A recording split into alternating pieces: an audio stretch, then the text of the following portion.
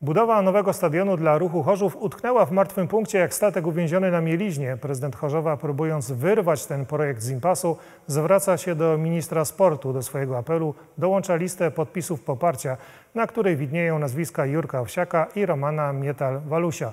Paweł Jędrusik. Prezydent Chorzowa o petycji poinformował w mediach społecznościowych. Prosi też ministra sportu Sławomira Nitrasa o spotkanie w sprawie budowy nowego stadionu chorzowskiego ruchu. Na razie odpowiedzi żadnej nie mamy. E, No liczę na to, że to się zmieni w naj- najbliższych dniach. E, Staram się różnymi sposobami, żeby minister się zainteresował jednak tym tematem.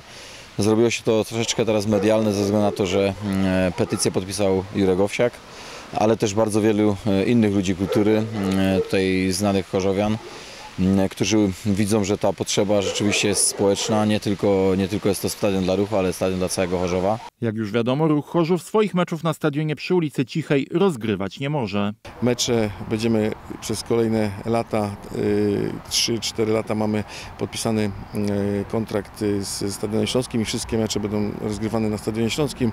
W tym okienku jeszcze przez to, że, że były wcześniej już zaplanowane imprezy na Stadionie Śląskim zakontraktowane zanim my podpisaliśmy umowę, jest, y, jest troszeczkę okrojona liczba tych meczów u siebie, troszeczkę poprzerzucane na, y, na, na wiosnę. O dofinansowanie budowy stadionu może być jednak ciężko, bo już w czerwcu minister sportu zapowiadał, że nie będzie finansował stadionów, bo one nie służą powszechnemu sportowi, tylko komercyjnemu.